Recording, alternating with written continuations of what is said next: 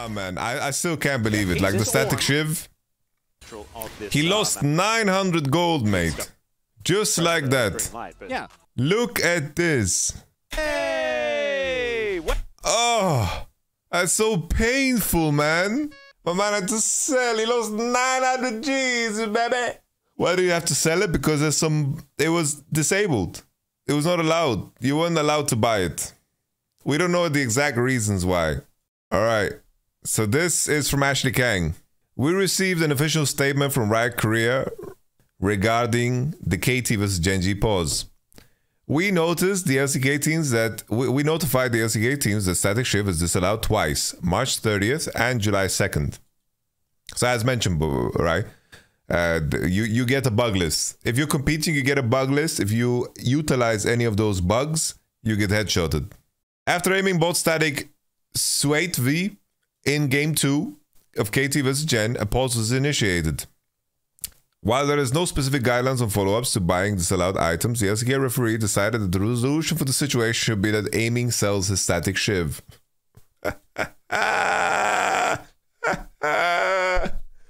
Holy shit. that is fucked, by the way.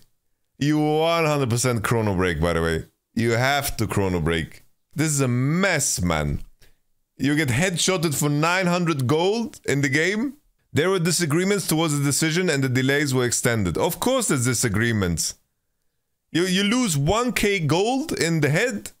We also received a statement from Hirai, the head coach of KT Rolster, on the pause situation. There was a period of time between aiming, buying static shiv, and the referee pausing the game. And additionally, penalty aiming, selling static shiv was discussed by the LCK referee, which may be considered a double penalty. Double penalty! Ref should catch it instantly as he's walking off or still in fountain in the pause. Additionally, the item doesn't cause the bug since the bug apparently only happens with Renata in game. This should be brought up. Ridiculous ruling, IMO. Just fine aiming, but don't alter game, IMO. Well, that's the thing, right? First and foremost, I don't want to assume that the static shiv bug is the Renata bug. We don't know.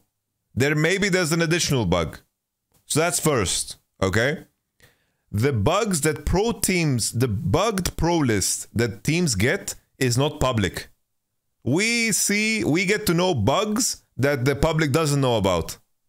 Because if they were in the public, they would be abused by the public because they can't control it. But on stage, they can control it. So that's first. Second, I completely agree that refs should catch it. But I'm telling you guys, the people that are refereeing, most play most people that are refereeing, they don't know much about the game. Most people that are refereeing don't know so much about the game.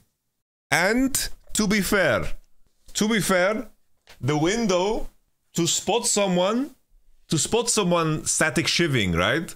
It's a very narrow window, you know? It's a very narrow window. Refs don't know the game, it makes sense. But why why do you guys think that the pauses are like 50 minutes long whenever something appears? Bro, they have to pull up LOL Wiki, man. They have to pull up LOL Wiki. It's like Riot doesn't even know half of the bugs that occur in the game. They're pulling up LOL wiki, they're checking if the interaction is real or not. Bro, that's why the pauses are so damn long.